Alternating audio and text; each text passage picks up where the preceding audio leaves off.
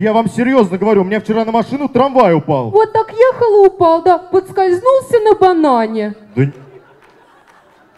да нет, на апельсине. Эта шутка уже разлетелась по интернету, но впервые она прозвучала в КВН. Придумала ее команда «Правком». Они и еще 23 команды участвовали в фестивале в честь старта сезона официальной лиги КВН «Самара». Мы хотим сегодня просто показать себя, но и от кубка не откажемся. КВН это наша жизнь, наверное.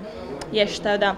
М- мои ребята, они рождены были КВНщиками, и я тоже была рождена КВНщицей, поэтому Самара нас свела. Решил попробовать, вот на студ весне. Но меня затянуло эта жизнь. Теперь КВН для нас это часть нашей жизни, никуда без него.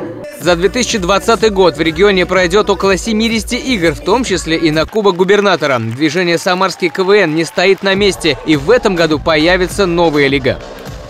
В этом году мы открываем Лигу профессиональных э, образовательных организаций. Это техникумы, училища, колледжи. Они также в прошлом году сыграли фестиваль, в этом году будет первый сезон.